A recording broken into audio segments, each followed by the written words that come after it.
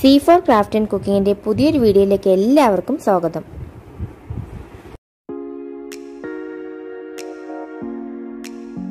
ഇന്ന് നമ്മൾ നാടൻ ഒരു ഇലയുടെ എണ്ണ ഉണ്ടാക്കിയെടുക്കുന്നത്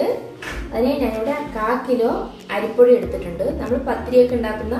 അതേ പൊടി തന്നെയാണ് ഇവിടെ എടുത്തിട്ടുള്ളത് പിന്നെ തേങ്ങ ചിരകിയത് ഒരു കപ്പ് കാ കിലോ ചെറുപയർ പരിപ്പ് കാ കിലോ വെല്ലം പൊടിച്ചെടുത്തത് ഇതിന് ആവശ്യത്തിന് ഉപ്പ് നമുക്ക് ആദ്യം തന്നെ ഈ ചെറുപയർ പരിപ്പ് നല്ലപോലെ ഒന്ന് ഫ്രൈ ചെയ്തെടുക്കാം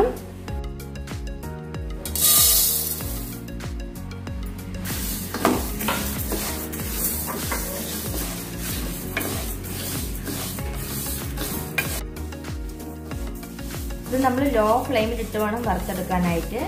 നമ്മുടെ ചെറുപയർ പാകമായി വന്നിട്ടുണ്ട് ഇനി നമുക്ക് ഫ്ലെയിം ഓഫ് ചെയ്യാം നമ്മൾ വറുത്ത് വെച്ചിരുന്ന ചെറുപയർ നന്നായി കഴുകി എടുത്തിട്ടുണ്ട് ഇനി നമുക്കിതൊന്ന് വേവിച്ചെടുക്കാം ഇനി നമ്മളിതിലേക്ക് ആവശ്യത്തിനുള്ള ഉപ്പ് ചേർത്ത് കൊടുക്കുക ഒരു ഗ്ലാസ് വെള്ളവും ചേർത്ത് നന്നായി ഒന്ന് വേവിച്ചെടുക്കാം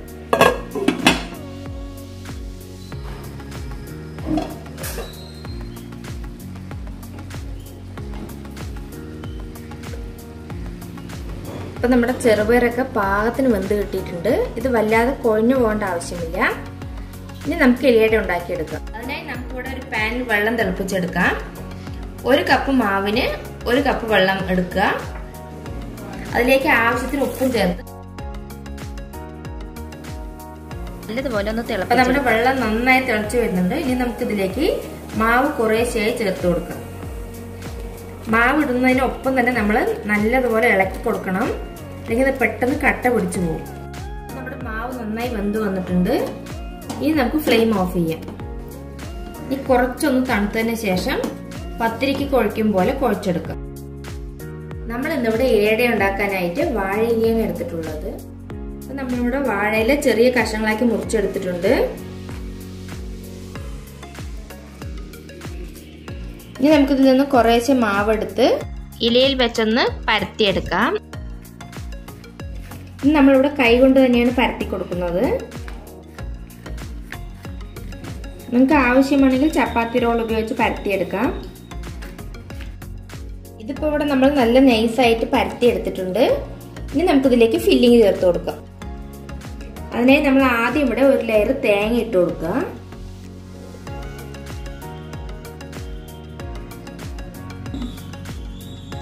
പിന്നെ നമ്മൾ ഇതിലേക്ക് വെല്ലം പൊടിച്ചു വെച്ചിരിക്കുന്നത് ചേർത്ത് കൊടുക്കാം വെല്ലം നമുക്ക് ഓരോരുത്തരുടെയും മധുരത്തിനനുസരിച്ച് ചേർത്ത് കൊടുക്കാവുന്നതാണ് പിന്നെ നമുക്ക് ഇതിലേക്ക് വേവിച്ചു വെച്ചിരിക്കുന്ന ചെറുപയർ പരിപ്പ് ചേർത്ത് കൊടുക്കാം ഇനി നമുക്കിതിങ്ങനെ മടക്കിയെടുക്കാം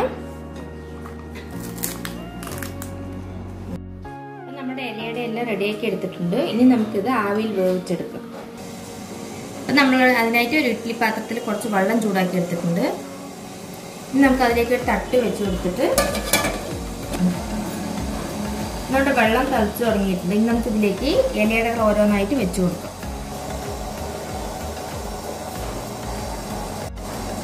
ഇനി നമുക്കിതൊരു പത്ത് മിനിറ്റ് നേരം അടച്ചു വെച്ച് വേവിച്ചെടുക്കാം പത്ത് മിനിറ്റ് നേരം ഹൈ ഫ്ലെയിമിൽ വെച്ച് വേവിച്ചെടുക്കാം പത്ത് മിനിറ്റ് ആയിട്ടുണ്ട് നമുക്കിനി ഇതൊന്ന് തുറന്നു നോക്കാം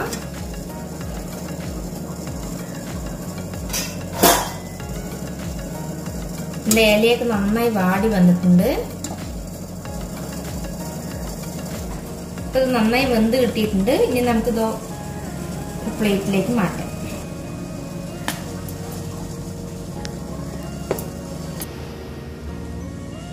അപ്പൊ നമ്മുടെ ഇലയുടെ നന്നായി വെന്ത് കിട്ടിയിട്ടുണ്ട് ഇത് ചെറുപയർ പരിപ്പൊക്കെ ചേർത്തുകൊണ്ട് കുട്ടികൾക്ക് വളരെ ഹെൽത്തി ആയ ഒരു സ്നാക്സ് ആണ് പിന്നെ ദാവിയിൽ പുഴുങ്ങിയെടുത്തത് കൊണ്ട് മുതിർന്നവർക്കും കഴിക്കാം ഇതെല്ലാവരും ഒന്ന് ട്രൈ ചെയ്ത് നോക്കണം